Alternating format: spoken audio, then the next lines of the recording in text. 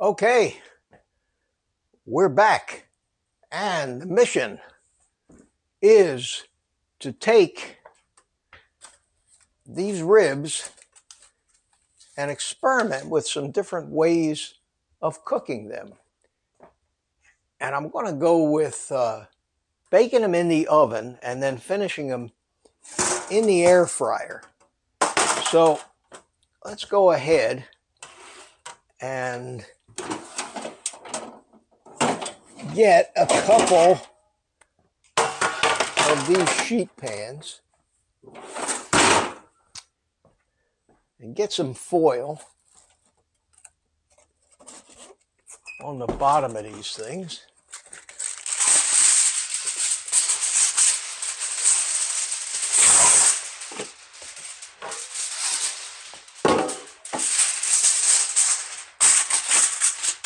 Because I hate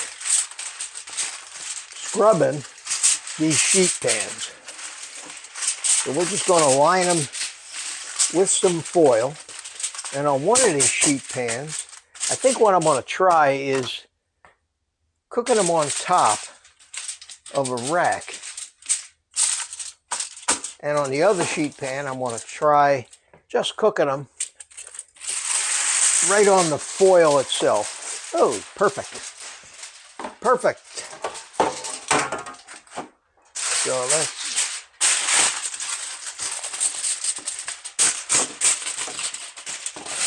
line line these pans.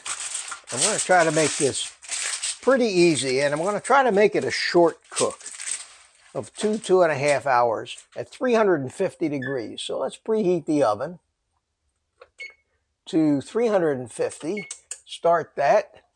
And let's take a look and see what we got here. So what I'm going to do is they should be defrosted by now or close enough. We're going to start opening these ribs up and deciding what we want to do with them. God, look at these. They're beautiful.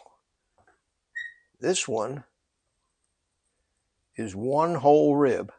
So I think what I'm going to do is I want to take on on the uh,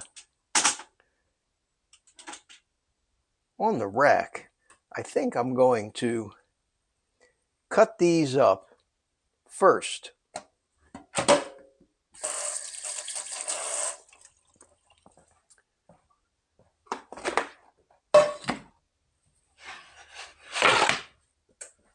I think I want to cut these and bake them individually. See how that comes out. So let's get myself the big knife and let's cut these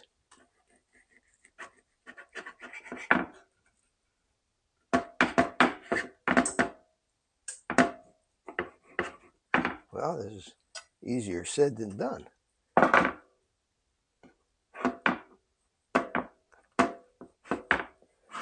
is this two ribs or three ribs here uh, evidently it's just two big ribs so let's take these and put them there like that. Okay, and now let's take this small little rack of beef ribs.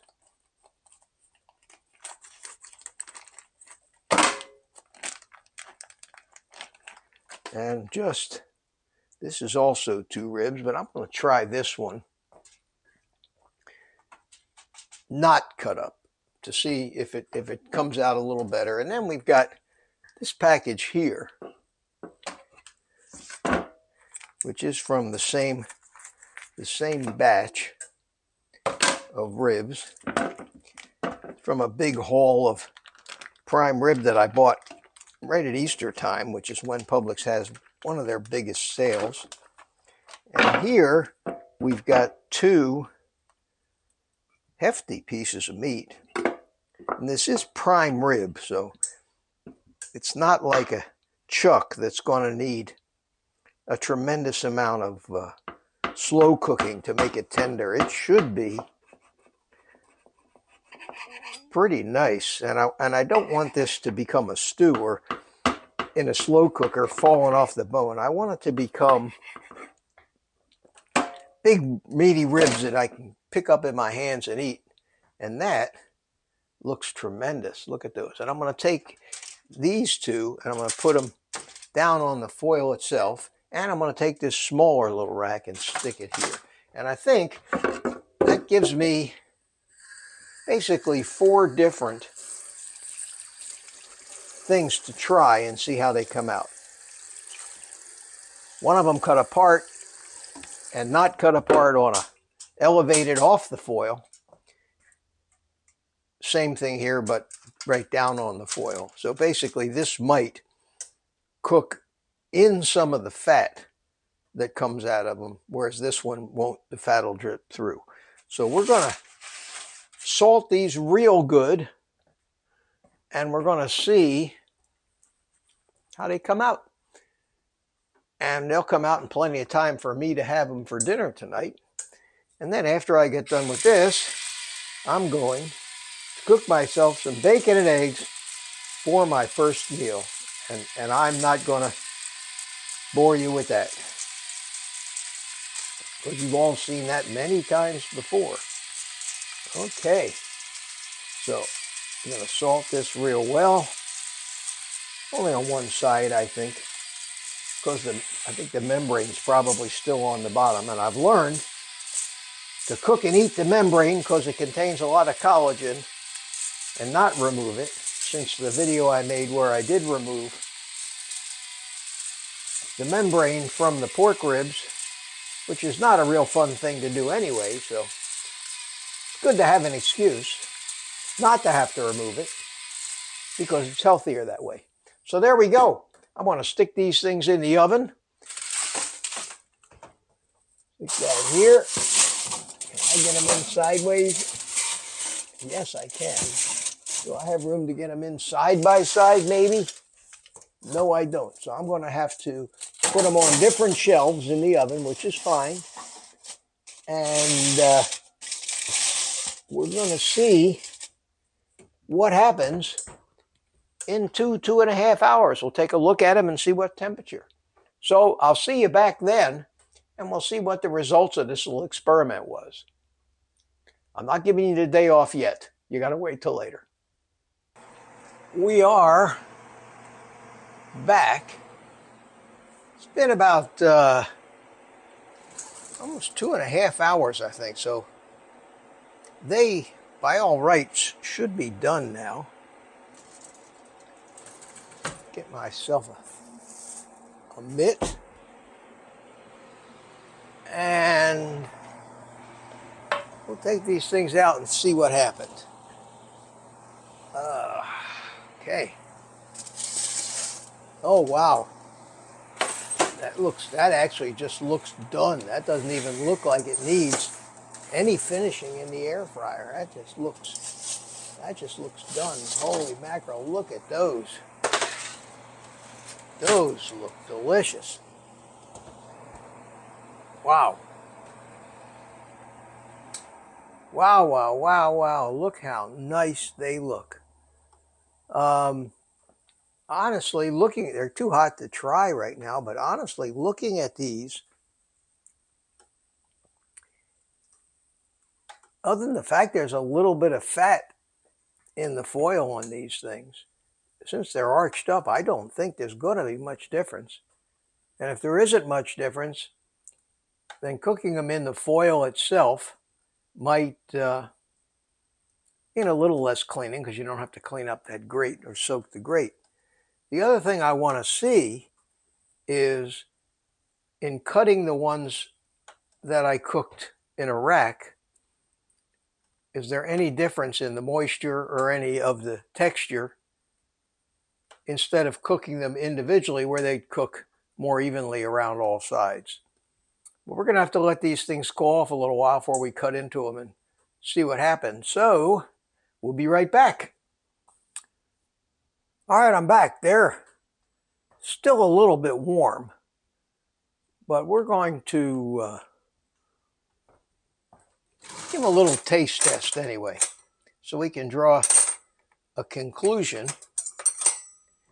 to this video. I don't think it would be wise to put these things into any any more of a cooking thing, but I'll let you know once I cut this open.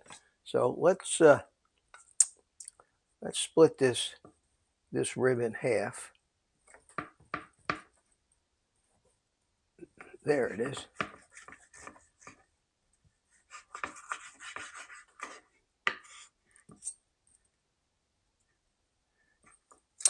And see what they look like. That membrane is still on there, which is good. And I want to see if they're still a little chewy or if they taste done.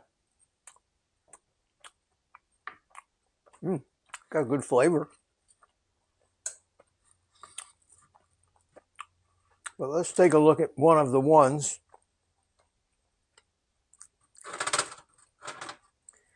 that I uh, I cooked by itself and let's just cut off a little bit of this meat off the end here and taste that and see how that is. It just looks looks delicious.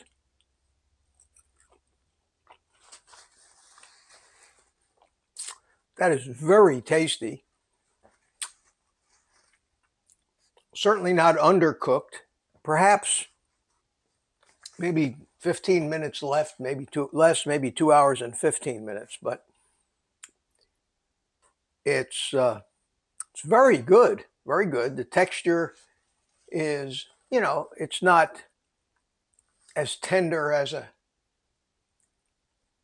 like a ribeye steak, but this is the rib of the ribeye, and uh, it certainly is a hell of a lot more tender than, say, a rib roast would be if it had been cooked the same way. The flavor is wonderful. Salt, just salting the top seemed to be enough. So I think that uh, until I find something better, I'm happy with this. And it's just another idea of something you can do. When I buy these big racks, these big uh, rib roasts in the whole loin, when they're on sale, they do come with the ribs attached. And sometimes I leave it and slice them up so that each steak has a rib. And sometimes I have the butcher just carve off the whole rack of ribs, which is why I ended up with all these. Anyway, another idea of a different way to have the same food, beef, give you a little bit of variety. Now, you can take the rest of the day off and eat meat.